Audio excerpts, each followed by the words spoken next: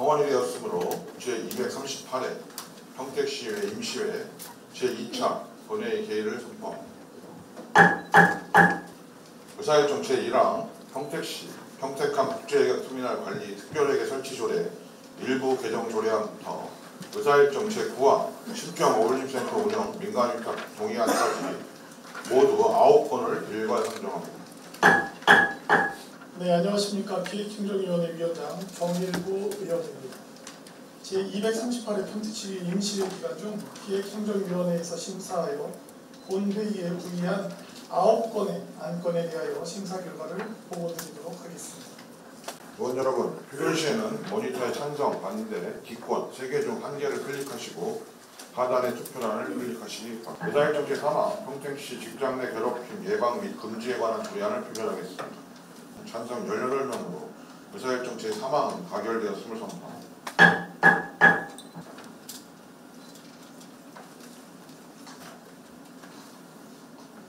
의사일정 제6항 2023년도 제2차 수시본 공유재산 관리 계획안을 표결하겠습니다. 투표를 시작하겠습니다.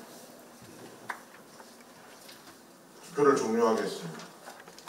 표결 결과를 말씀드리겠습니다. 재석위원 18명 중 찬성 18명으로 의사일정 제9항은 가결되었음을 선포합니다.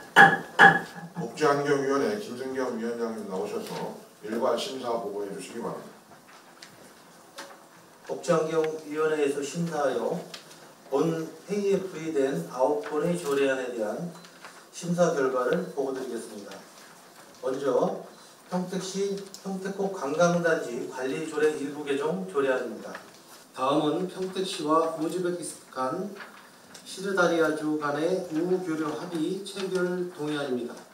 다음은 평택시 뇌병변 장애인 지원 조례안입니다.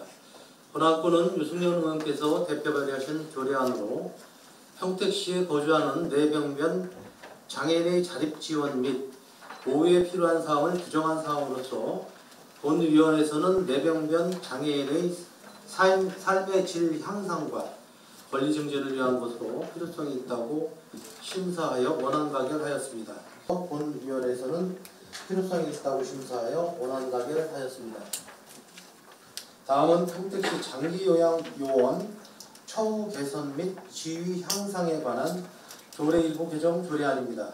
운영과 관리를 전문적인 지식과 경험을 갖춘 전담 기관에 위탁하려는 사항으로서 동의안을 표결하겠습니다. 투표를 시작하겠습니다.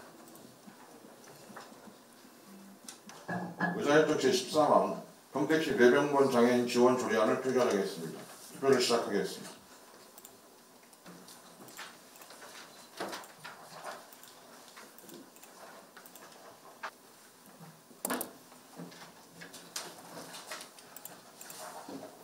으로 의사일정 제16항은 가결되었음을 선포합니다.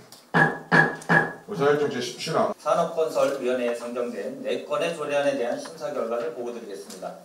먼저 평택시 도시계획조례 일부 개정 조례안으로 이 안건은 이관우 의원께서 대표 발의하신 조례안으로 국토의 계획 및 이용에 관한 법률 시행령 제51조에 근거하여 경작을 위한 절 성토에 대한 개발행위 허가 기준을 2m에서 1m로 변경하여 강화하기 위한 개정안으로 본 위원회에서는 필요성이 있다고 심사하고 원안 가결하였습니다.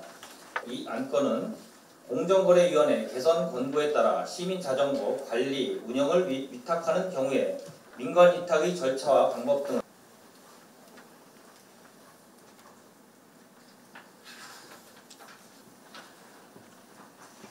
재석위원 18명 중 찬성 18명으로 의사일정 제20항은 가결되었음을 선포합니다. 예산결산 특별위원회 위원장 최선자 의원입니다. 지금부터 평택시장이 제출한 2023년도 제2회 추가 경정 예산안, 2023년도 기금 운영 계획 변경안 등 두 건에 대한 심사 결과를 보고 드리겠습니다. 그래서 그 종합적으로 판단해서 어, 평택시가 양보할 부분은 양보하고 농악 보존에도 농 양보할 부분은 양보해서 바람직한 그 방안을 만들어내도록 노력하겠습니다. 그러니까 모든 것을 해결 방안책을 지금 찾지 못했기 때문에 지금 연구 연역을 주시는 거 아닙니까? 네네. 네. 주요 안건 심사에 심혈을 기울여주신 동료 의원 여러분께 감사의 말씀을 드립니다. 또한 임시회가 내실 있게 운영될 수 있도록 성실하게 자료 준비와 답변에 임해주신 공직자 여러분께도 감사를 드립니다.